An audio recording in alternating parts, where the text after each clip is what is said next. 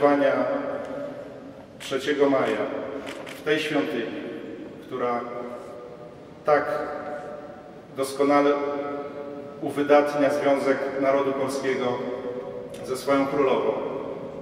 Jest szczególnym przeżyciem, za które bardzo serdecznie chciałem podziękować ekscelencji arcybiskupowi Mieczysławowi Mokrzyckiemu, ojcu księdzu proboszczowi, duchowieństwu archidiecezji lwowskiej. Bardzo także się cieszę jako przedstawiciel rządu polskiego z tak licznej obecności e, Polaków, tutejszych Polaków e, goszczących na tej ziemi.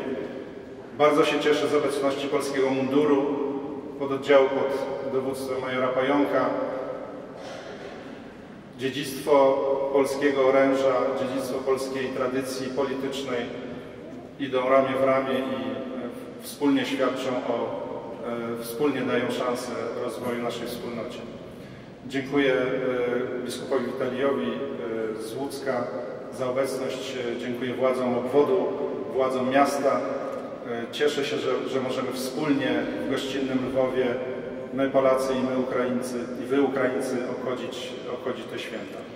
Bardzo serdecznie na koniec chciałem podziękować pani dyrektor Janiszewskiej Jakubiak i zespołowi Poloniki za to, że będziemy po 100 latach e, świadkami, e, odbiorcami dźwięku tych, tych organów i dołączam się do wyrazów nadziei, że i duże organy e, wkrótce zabrzmią ku radości wszystkich wiernych, wszystkich gości e, tej archidiecezji. Dziękuję bardzo.